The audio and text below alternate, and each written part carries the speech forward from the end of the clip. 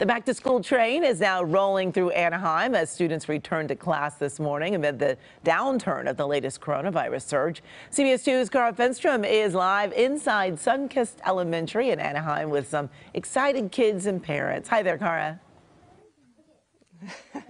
Hey, we just came back from recess. We're in Mrs. Reyes' class, and this is Jocelyn here. What did you get to do at recess today, Jocelyn? I got to play tag.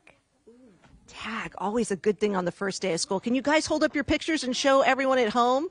These are pictures that they've driven, drawn of themselves on their first day of school, and you can see lots of smiling faces because everyone here having a really good time.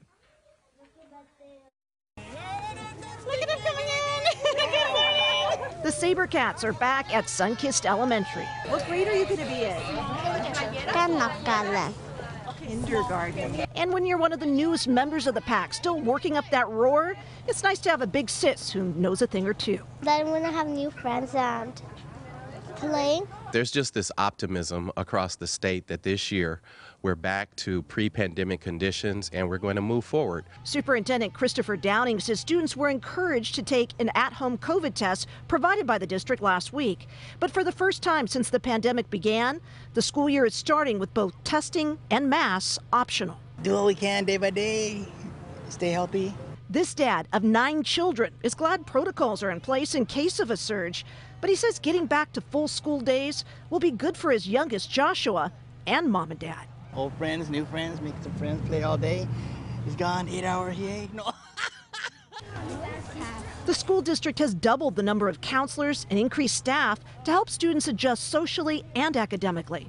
Sunkist also sent its administrators door to door recently to make sure area families know that in person learning is back and get their children enrolled.